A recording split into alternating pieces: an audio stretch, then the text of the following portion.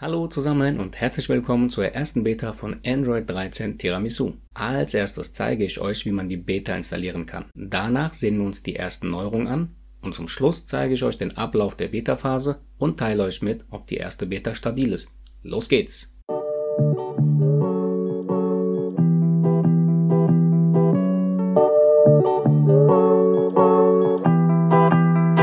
Wir sehen die Android-Version 13 darunter das Sicherheitsupdate vom 5. April und darunter das Google Play System Update vom 1. März.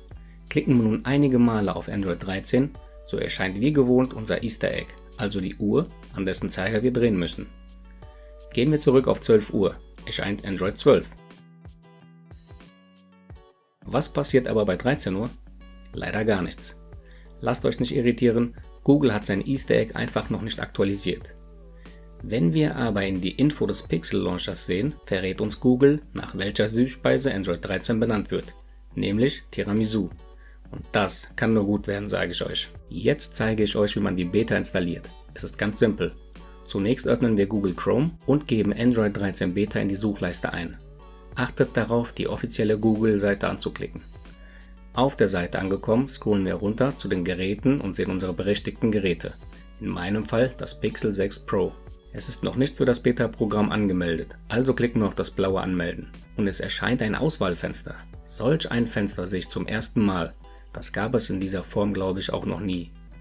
Wir haben die Auswahl zwischen der Beta für Android 12 und Android 13. Das Programm für Android 12 endet im Juni dieses Jahres. Das 13er Programm im Juni nächsten Jahres, also 2023. Und natürlich wählen wir das 13er. Als nächstes folgen die Nutzungsbedingungen. Diese muss man akzeptieren. Dabei reicht es, das letzte Kästchen zu wählen. Bestätigen und anmelden. Jetzt müssen wir nur noch in die Einstellungen gehen und nach einem Update suchen lassen. Und siehe da, Android 13 Beta 1 wird heruntergeladen und im Anschluss installiert. Klasse!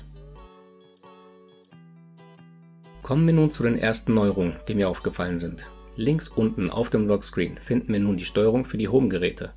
Das gefällt mir nicht unbedingt. Ich bin eher dafür, dass wir Nutzer entscheiden sollten, welchen Shortcut wir dort haben wollen.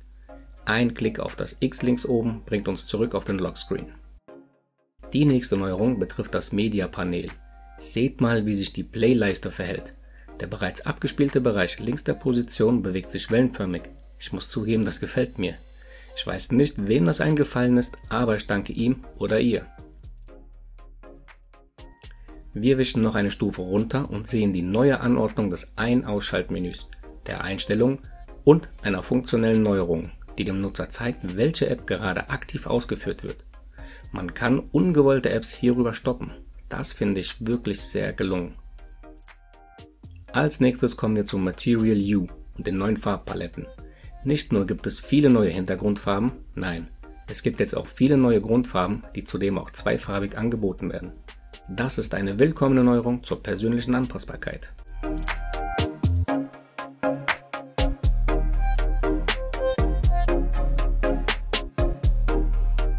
Kommen wir zu einer weiteren funktionellen Neuerung, nämlich zur Möglichkeit, einen kopierten Text zu bearbeiten, bevor man ihn einfügt. Ich lösche den Text Serie und schreibe Review hin und dieser neue Text wird dann kopiert. Okay, letzter Punkt. Wie steht es um die Leistung der Beta? Gibt es Ruckler, App-Abstürze oder funktionieren einige Apps nicht? Nein, bisher ist alles prima. Die Beta läuft wirklich erstaunlich rund. Das hätte ich nicht gedacht. Hier noch die Übersicht des Beta-Programms. Im April haben wir die Beta 1 bekommen. Es werden noch drei weitere Betas folgen, bevor die öffentliche und stabile Version mit der Pixel 7 Serie veröffentlicht wird. Ich werde natürlich jede Beta begutachten. Abonniert gerne den Kanal, um diese Videos nicht zu verpassen. Vielen Dank fürs Zusehen und bis zum nächsten Video.